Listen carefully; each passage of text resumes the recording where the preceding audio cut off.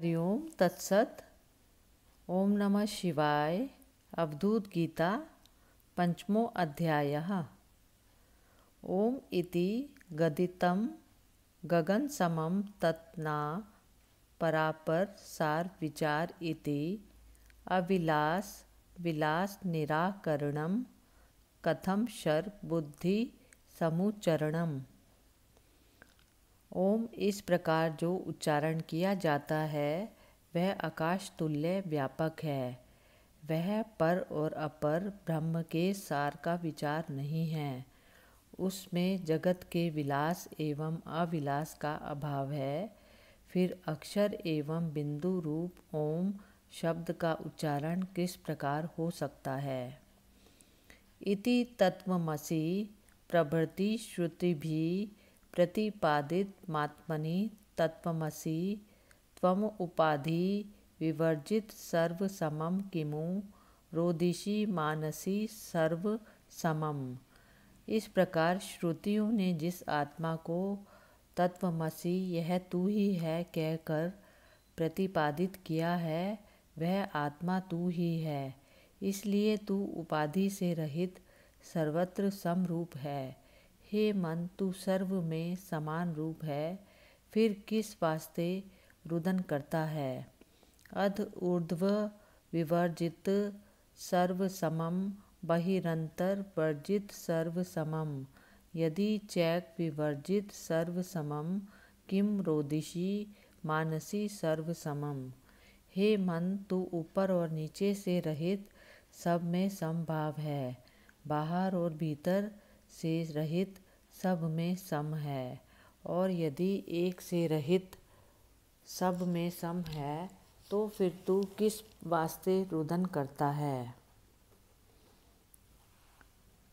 ना ही कल्पित कल्प विचार इति ना ही कारण कार्य विचार इति, पद संधि विवर्जित सम सर्व समम किमु रोदिशी मानसी सर्वसमम हे मन, तू ना तो कल्पित है, ना कल्प आदि विचार ही है। ना तू कारण एवं कार्य रूपी विचार ही है, तेरे में पद एवं संधि भी नहीं है, बल्कि सब में सम ही है। फिर किस वास्ते तू रुदन करता है? ना ही बोध, विबोध, समाधि, रीति ना ही देश विदेश समाधि रीति ना ही काल विकाल समाधि रीति, किमु रोदिशी मानसी सर्वसमम।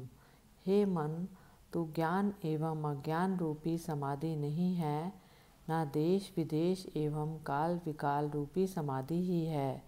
तू सर्वत्र समरूप है, फिर किस वास्ते रुदन करता है? ना ही कुंभ नभो ही ना ही कुंभ इति नाहि जीवन पूर्ण, ही जीव इति नाहि कारण कार्य विभाग इति किमु रोदिशी मानसी सर्वसमम। रे मन ना तू घटाकाश है, ना घट ही है, ना तू जीव का शरीर है, ना जीव ही है। तेरे में कारण एवं कार्य का विभाग भी नहीं है। फिर तू किस वास्ते रुदन करता है? तू सर्वत्र समरूप है। यह सर्व निरंतर मोक्ष पदम लघु दीर्घ विचार विहीन इति, नाहि वर्तुल कोण विभाग इति किमु रोदिशी मानसी सर्व समम यह आत्मा सर्व एक रस एवं मोक्ष पद वाला है। यह लघु दीर्घ आदि विचार से रहित है। इसमें गोल एवं कोण का विभाग भी नहीं है। फिर, हे मन, तू किस कारण से रुदन करता है? तू सर्वत्र समरूप है। यह शून्य विशून्य विहीन, इति इहि शुद्ध विशुद्ध विहीन इति, इहि सर्व विसर्व विहीन इति, कुम किमु रोदिशी मानसी सर्व समम इस आत्मा में शून्य एवं विशून्य विहीन, शुद्ध एवं विशुद्ध विहीन सर्व एवं विसर्व विहीन आदि का व्यवहार नहीं होता। हे मन, तू सर्व में सम है, फिर किस वास्ते रुदन करता है? ना ही भिन्न विभिन्न विचार इति, बहिरंतर संधि विचार इति अरिमित्र विवर्जित सर्व समम, किमु रोदिशी मानसी सर्व समम। इस आत्मा में भिन्न एवं विभिन्न का विचार भी नहीं हो सकता। बाहर, भीतर और संधि का विचार भी इसमें नहीं हो सकता। शुद्ध एवं मित्र से रहित यह सर्व में सम फिर हे मन तू किस वास्ते रुदन करता है? तू सर्व में सम है। ना ही शिष्य विशिष्य स्वरूप इति, ना चराचर भेद विचार इति। यही सर्व निरंतर मोक्ष पदम किमुरोदशी मानसी सर्व समम यह आत्मा शिष्य एवं अशिष्य स्वरूप भी नहीं है, ना इसमें चर एवं अचर जगत के भेद का विचार ही है। यह सर्वरूप निरंतर एवं मोक्ष पद वाला है। इसलिए हे मन, तू किस वास्ते रुदन करता है? तू सर्व में सम आत्मा है। ननु रूप विरूप विहीन इति, ननु भिन्न विभिन्न विहीन इति ननु सर्ग विसर्ग विहीन इति किमु रोदिशी मानसी सर्व समम निश्चय ही यह आत्मा रूप एवं विरूप से विहीन है। निश्चय ही यह भिन्न एवं विभिन्न रूपों से विहीन है। निश्चय ही यह उत्पत्ति एवं प्रलय से भी रहित है। फिर हे मन, तू किस वास्ते रुदन करता है? तू आत्मरूप होने से सर्व में सम है। ना गुणा गुणा पाश निबंध इति मृत जीवन कर्म करोमि कथम इति शुद्ध निरंजन सर्व समम किम रोदिशी मानसी सर्व समम गुण एवं निर्गुण के पाश का बंधन उसमें नहीं है, इसलिए वह मृत एवं जीवन के कर्म किस प्रकार करता है? वह शुद्ध निर्दोष सर्वरूप एवं सम है फिर हे मन, तू किस कारण से रुदन करता है? तू वही आत्मा है जो सर्व में सम है।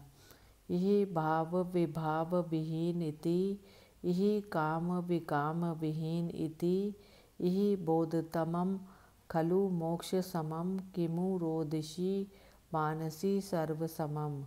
यह आत्मा भाव एवं विभाव से रहित है, यह काम एवं विकाम से रहित है यह ज्ञान स्वरूप एवं निश्चय ही मोक्ष स्वरूप है। इसलिए हे मन, तू किस कारण से रुदन करता है? तू सर्व में सम है। यही तत्व निरंतर तत्वमिति ना ही संधि विसंधि विहीन इति। यदि सर्व विवर्जित सर्व समम किमु? रोदिशी मानसी सर्व समम। इसमें आत्मा में, तत्व में अर्थार्थ नित्य तत्व का व्यवहार नहीं है, ना ही इसमें संधि और विसंधि विचार का विचार है। यदि यह सर्व से रहित सर्व में सम है तो फिर हे मन, किस कारण से तू रुदन करता है? तू आत्मा होने से सर्व में सम है। अनिकेत कुटी परिवार समम यह संग विसंग विहीन परम यह बोध विबोध विहीन परम किमुरोदशी मानसी सर्व समम एकांत कुटी में रहे अथवा परिवार में रहे, सब समान है, क्योंकि वह आत्म संग एवं विसंग से रहित है, वह ज्ञान एवं अज्ञान से भी रहित है, तथा वही श्रेष्ठ है, फिर हे मन तू किस कारण रुदन करता है, तू वही आत्मा है जो सर्व में सम है। अविकार विकारम सत्यमिति अविलक्षित विलक्षम सत्यमिति यदि केवल आत्मनि सत्यमिति किमुरोदशी मानसी सर्वसमम। अविकार आत्मा का यह विकार युक्त जीवन है, जगत है यह असत्य है। जो अदृश्य है, उसका यह दृश्य जगत असत्य है, जबकि केवल आत्मा ही सत्य रूप है। इसलिए हे मन, तू किस कारण से रुदन करता है? तू आत्मा होने से सर्व में सम है। यही सर्व समम खलु जीव इति यही सर्व निरंतर जीव इति यही केवल निश्चल जीव इति किमुरोदिशी मानसी सर्व समम। इस संसार में निश्चय करके जीव ही सर्व एवं सम है। इस संसार में निश्चय केवल जीव ही है। हे मन तो किस कारण से रुदन करता है? तू सर्व में सम है। अविवेक विवेकम बोध इति, अविकल्प विकल्प बोध इति, यदि चैक निरंतर बोध इति किमुरोदिशी मानसी सर्वसमम।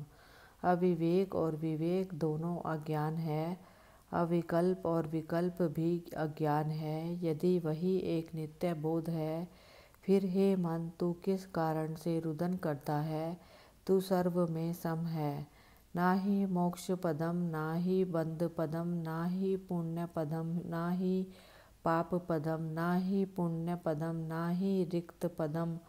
किमुरोदिशी मानसी सर्व समम ना मोक्ष पद, ना बंद पद है, ना पुण्य पद है, ना पाप पद है, ना पूर्ण पद है, न रिक्त पद है। हे मन, तू सर्व में सम है, फिर किस कारण से रुदन करता है?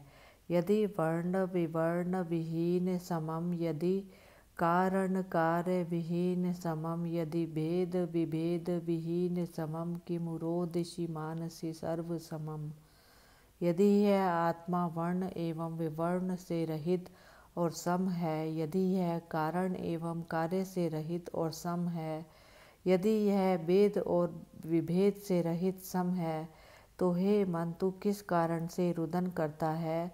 तू आत्मा होने से सर्व में सम है। इह सर्व निरंतर, सर्व चिते इह केवल निश्चल, सर्व चिते द्विपद आदि विवर्जित सर्व चिते किमुरो दिशि मानसी सर्व समम यह आत्मा सर्व रूप नित्य एवं सबके चित्तों में रहता है। इस संसार में यही केवल निश्चल भाव से सब चित्तों में रहता है। यह दो पाँव से रहित सबके चित्त में रहता है। हे मन, तू वही आत्मा होने से सर्व में सम है, फिर किस कारण से रुदन करता है? अति सर्व निरंतर सर्वगतम अति निर्मल, निश्चल सर्वगतम दिन रात्रि विवर्जित सर्वगतम की मुरोदिशि मानसी सर्व समम। यह आत्मा श्रेष्ठ सर्वरूप नित्य एवं सभी में व्याप्त है। यह अति निर्मल, निश्चल एवं सब में व्याप्त है। फिर हे मन, तू किस कारण से रुदन करता है? तू सर्व में सम वही आत्मा है। ना ही बंद विबंध समागमनम ना ही योग वियोग समागमनम ना ही तर्क वितर्क समागमनम कि मुरोदिशी मानसी सर्व समम आत्मा में बंध और विबंध का समागम नहीं है, ना योग और वियोग का समागम है, न तर्क और वितर्क का समागम है। हे मन, फिर तू किस कारण से रुदन करता है? तू सर्व में सम है। यही काल विकाल निराकरणम अरुणमात्र कृषान निराकरणम ना ही केवल सत्य निराकरणम किमुरोदिशि मानसी सर्व समम आत्मा में काल एवं विकाल का निराकरण है, इसमें अणुमात्र भी अग्नि का निराकरण है, केवल सत्य का निराकरण इसमें नहीं है, क्योंकि यह स्वयं सत्य है, फिर हे मन तू किस कारण से रुदन करता है? तू सर्व में सम है। यही देह विदेह विहीन इति ननु। स्वप्न प्रसुप्ति विहीन परम। अभिधान विधान विहीन परम। किमुरोदिशि से सर्व समम। यह आत्मा देह और विदेह से रहित है।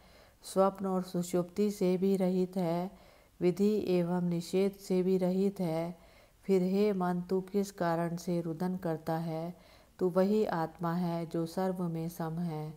गगनोपम शुद्ध विशाल समम, अति सर्व विवर्जित सर्व समम गतसार विसार विकार समम कि मुरोदिशि मानसी सर्व समम। यह आत्मा आकाश के समान व्यापक, शुद्ध, विशाल एवं सम है। यह सर्व से रहित नहीं है, किंतु सर्व में सम है। यह सार विसार एवं विकार से रहित है तथा सम है। फिर, हे मन, तू किस कारण रुदन करता है? तू सर्व में सम है। इह धर्म विधर्म विराग गतमिहि वस्तु विवस्तु विरागतरम। इह काम विकाम विरागतरम किमुरोदिशि मानसी सर्व समम इस संसार में धर्म और विधर्म से वैराग्य ही श्रेष्ठ है, काम और विकाम से वैराग्य ही श्रेष्ठ है। फिर, हे मन, तू किस कारण से रुदन करता है? तू सर्व में सम है। सुख दुख विवर्जित सर्व सम ही शोक विशोक विहीन परम गुरु शिष्य विवर्जित तत्व परम कि किमुरोदिशि मानसी सर्व समम। यह आत्मा सुख और दुख से रहित सर्व एवं सम है। यह शोक और विशोक से रहित परम है। यह गुरु एवं शिष्य से रहित परम सत्व है। फिर हे मन, तू किस कारण से रुदन करता है? तू सर्व में सम है। न किलांग कुर सार विसार इति, न चलाचल साम्य विसाम्य मिति। अविचार विचार विहीन मिति किमुरो दिशि मानसी सर्व समम आत्मा में निश्चय ही सार एवं विसार का अंकुर भी नहीं है। चल अचल, साम्य एवं वैषाम्य भी नहीं है। यह विचार एवं अविचार से रहित है। फिर हे मन, तू किस कारण से रुदन करता है? तू सर्व में सम है। यह सार समुच्चय सारमिति कथितम निज भाव विभेद इति विषय करणत्व सत्यमिति किमुरो दिशि मानसी सर्व समम यह आत्मा सार समुच्चय सभी प्रकार के सारों का भी सार है, ऐसा कहा गया है। अपने भाव से भी इसका विभेद है। यह भाव रूप नहीं है। विषयों का करणत्व कार्य यही है, ऐसा असत्य कहा गया है। फिर हे मन, तू किस कारण रुदन करता है? तू सर्व में सम है। बहुधा श्रुतय प्रवदंती, यतो वियदादिदम मृगतो यसमम यदि चैक निरंतर सर्व समम की मुरोदिशि मानसी सर्व समम अनेक श्रुतियाँ कथन करती है कि जितना भी यह आकाश आदि प्रपंच है, वह मृग तृष्णा के जल के समान है। और यह एक चेतन ही नित्य एवं सर्व में सम है। फिर, हे मन, तू किस कारण से रुदन करता है? तू वही आत्म है जो सभी में समान रूप से है। विंदंती विंदंती, नाही नाही, यत्र छंदो लक्षणम, नाही नाही तत्र। समर समग्रो भावित पूतः प्रलपति तत्व परम अवधूतः। परम अवधूत श्रेष्ठ ज्ञानी जिसका अंत्यकरण पवित्र है, उस एक रस आत्मा में ही मग्न रहता है तथा उस आत्म तत्व का ही कथन करता है जिसमें छंद और लक्षण नहीं है, उसी आत्मा को प्राप्त होता है। इति पंचमो अध्याय पांचवा अध्याय समाप्त। हरि ओम नमः शिवाय, हरि ओम तत्सत।